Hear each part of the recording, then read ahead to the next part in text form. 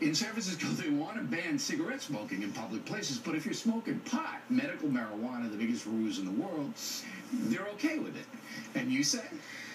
Uh, they should both be legal. That, that free people should get to do what they want to Okay, do. but, but to explain to me, they don't want cigarette, tobacco smoking in public. They want to ban that or in public places. But you can you can puff on a marijuana cigarette all day long if you have your ear hurts. See right here, that's all you got to do is walk in and say my ear hurts. Pay two fifty to the doctor. Doctor writes you a script, and you get five thousand pounds of marijuana. Lots of- because your ear hurts. Lots of people use the phony excuse. And the sponsor of the bill importantly, it does not prohibit the use of medical. Of cannabis." course, Right. but it's such We, a we joke. asked him to explain. We don't want to talk anymore about this. It's such a joke, is it not? A joke? Isn't this whole thing Well, ridiculous? but the bigger horrible joke is it's tyranny of the majority. Even the cigarette smoking bans outdoors. They're based on this fallacy that it's a health risk.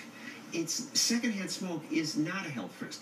All these studies that the government's looked at, the World Health Organization, thousands of smokers, they found a tiny effect sometimes. Some found no But effect. you don't want to be in a restaurant and have some cigar smoke come Well, over then I wouldn't go to that restaurant, but the smokers should have the right to do that. And they study people who were with cigarette smoke in homes, So you in say for smokers years. should be able to smoke everywhere?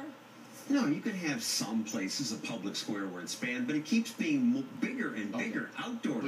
But the pot indoors now outdoors. you think they should be able to smoke the pot? that's even less of an intrusion because there's It's less, less of smoke. an intrusion. Well, cigarette smokers do a whole pack. Pot smokers usually one joint, maybe. So All right. it's less.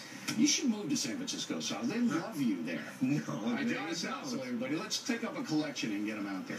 We come right back. Is it legal on a young rape victim being hammered by the state of Kentucky at a nasty courtroom brawl in Florida? Legal is next.